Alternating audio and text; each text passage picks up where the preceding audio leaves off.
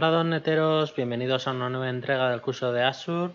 Soy Alberto Picazo y en esta ocasión vamos a hablar de cómo podemos comprobar en qué estado están los servicios de Azure. En algunas ocasiones cuando estemos desarrollando nos van a surgir incidencias, pues ya sea de performance o que dejen de, de funcionar las cosas. No es lo habitual, ¿vale? Pero puede pasar. ¿Sabes? Que te llame el cliente diciendo pues que ha tenido una caída de tal servicio o si estás usando microservicios, alguna máquina virtual o lo que sea, pues que tengas una bajada de rendimiento. Entonces, eh, el primer sitio donde tendrás que ir a mirar pues es eh, en, el, en, el, estado de, de, los servicios de Azure. Eh, se puede mirar en dos, en dos sitios. Por un lado, eh, podemos, podemos ver en, el estado de nuestra suscripción. Eh, como podemos ver aquí nos viene el Service Health, pues vamos a darle aquí. Y aquí nos saldrán si, si tuviéramos algún problema de servicio. En principio no se encuentra ningún problema de servicio, pero si eh, podemos incluso anclar el mapa filtrado al, panel, por ejemplo, vamos a ponerle el nombre de servicios y eh, se nos habrá anclado al panel. Aquí, vamos a ver, ¿veis? De momento solo tenemos, eh, de todas las suscripciones, solo tenemos un, un, servicio creado que está aquí. Entonces, eh, como podemos ver, así lo tendremos siempre a vista y está en verde.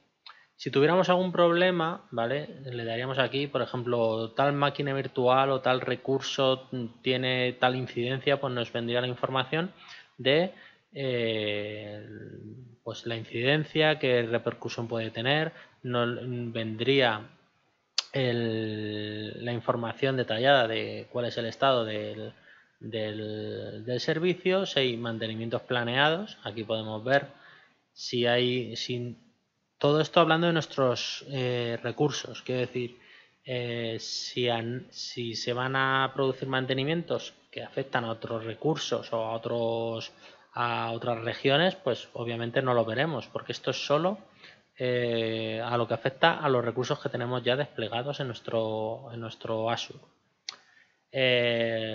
veríamos los avisos del estado y el, el estado de los recursos, que es el, el,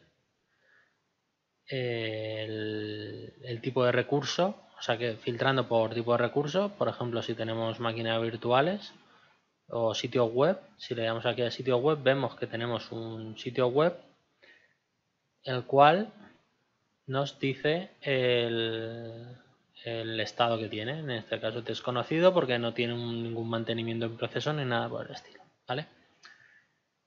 Eh, esto eh, hablando eh, cómo entrar a, ver si hay algo que afecte a nuestros servicios, eh, pero luego hay una página dentro de que se llama Azure Microsoft.com el ES, que es el, el idioma, barra status.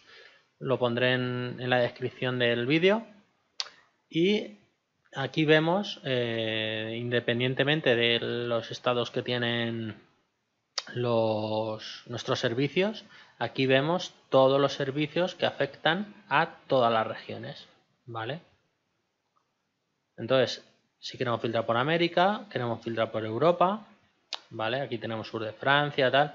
Cuando no aparece nada es porque ese servicio no, no existe en, ese, en esa región. Y podemos eh, filtrar pues, pues por Asia o Azure Government, América, y eh, también eh, cada cuánto quieres que se actualice. Imaginemos que queremos tener esto monitorizado, eh, lo tenemos en un monitor todo el rato pendiente o, o lo que sea, pues bueno, se irá actualizando eh, conforme, conforme le vayamos poniendo.